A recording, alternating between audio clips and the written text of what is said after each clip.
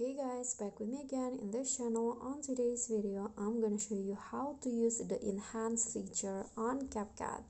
So here the enhance feature now can be found easily in the when you open CapCut there will be an enhance at the top. So you just need to click on that enhance and choose a, a clip or photos that you want to edit. For example, okay I wanna edit this clip right here. Click on add and then here. You can choose which part of the uh, video that you want to enhance. There's face parts of face makeup and also you can also enhance manually.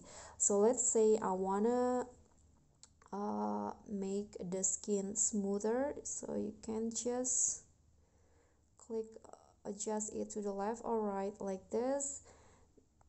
The skin tone you can change it into whichever you like. And then you can also uh, change the smile lines here. You can add it. And you can also adjust the dark circle and makeup. For example i want to change the makeup into other makeup you can just choose which one that you want to use. And then after that you can click on a check icon. And here the video will enhance accordingly. Okay so that's all for me. Thank you guys so much for watching. Don't forget to click thanks like this video comment and subscribe. I'll see you all in the next videos. Bye